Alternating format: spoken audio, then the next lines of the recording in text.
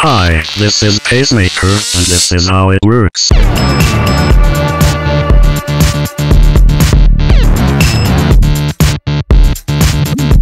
have two channels and a crossfader, like on any old school DJ system. Adjust the crossfader to set the blend.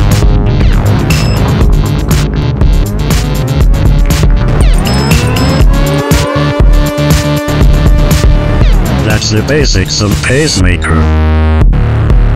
For more advanced DJ functionality like beat matching, by bending and adjusting the speed of a track,